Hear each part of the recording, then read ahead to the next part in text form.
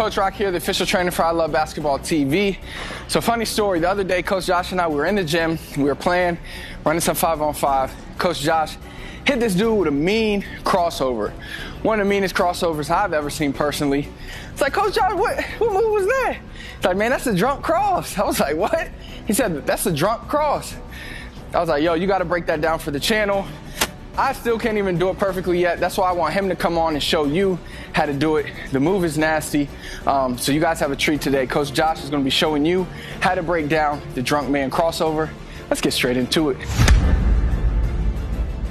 What's up, y'all? So Coach Rock wanted me to come break down the drunk cross to y'all. Uh, it's real easy. Basically, when I came down the court, it works dang, dang near 100% of the time. When I came down the court, came down calm, I caught him slipping. So I caught him with the lean, and when I went to cross, he jumped that way. Everybody in the gym went crazy. So to break this down, break it down in a couple steps. The first part is opposite hand, opposite foot. So you want to pound, tap, and lean. So you're gonna lean and tap the opposite side or whatever um, hand the ball is in. So it's the first step is a pound, tap, lean. So you can walk and practice that with either hand. Might look awkward, might feel awkward, but it's a pound, tap, lean. Just pound, tap, lean. Pound, tap, lean, just to get that muscle memory use to the move because it's so awkward. And once you get that down, the next part is the hop within the cross. This is uh, key. This is what's going to really get the dude throw it off. It's really going to yank him. Now, the way I do this, Coach Rock teaches how to do the scissors. So it's basically a scissors, but it's left and right. So when you're doing the typical scissors, it's right, right, left, right, right, left. So after you tap, on the first part of the jump cross is to be the same right, right, left. So you're to jump after the tap. But it's the same as the scissors, it's forward, but left and right. So again, I'm tapping, leaning. That's the first one. Second one is the jump. Right, right, left. The jump is really what's to get him because he don't know where your shoulders, your hips, the ball's over here. He's all confused. So once you get that down, you can just set up some cones and just go down the court. Again, right, right, left. Or if you're doing the other hand, same way, left, left, right. So it's pound, tap, pound, tap, lean, pound, tap, lean, and then jump. So just go down the court, working it left and right instead of front to back, just like the scissors, but left and right. All right, guys, so let's go through this again one more time, break it down real slow. First step is a pound and tap. Opposite, um, opposite hand, opposite foot. So it's balls in your left hand, you're gonna tap your right foot pound, tap. Get that down. It's got to happen simultaneously at the same time. Pound and tap. Now, once you get that down, you're going to go into the second part, which is pound, tap, lean. It's all one motion. Pound, tap, lean. You already got your defender kind of going that way with the lean. Next is the hop. That's the third step. So after you're leaning, you're going to hop.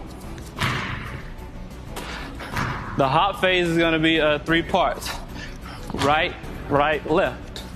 So as soon as you hop, landing on that right again, and then you're going into that cross. It's basically an Iverson cross at that point. So pound tap, pound tap lean, and then pound tap lean hop. Again, the hop part is the same as the hesitation scissors. Just like you with scissors, you're just gonna do it sideways. Nothing different. Same rhythm, everything. Same footsteps, right, right, left. Um, again, right, right, left. Same footsteps, it's just going left and right. It's that simple. Now that you got it down, the only way that this move is going to work really well is the setup. You got to set them up. You got to keep the defender guessing. Um, the first thing I do in my setup is basically a simple hesitation. Now, you coming down court. This is this is especially good for point guards. If you're coming down court and you want you know you want to do this move, just get in with a simple hesitation right there. You do a light lean, nothing crazy like the drunk cross, just a light lean, blow by. So now that he's already saw the lean and he saw the hesitation blow by, now when you come down, he's gonna see that same move and try to jump it. And that's when you hit him with the drunk cross and he's jumping that way and you're gone. So now you got the setup done. You set him up, you hit him with a drunk cross. So many counters you can do to this, it's crazy. You can get creative with it however you want.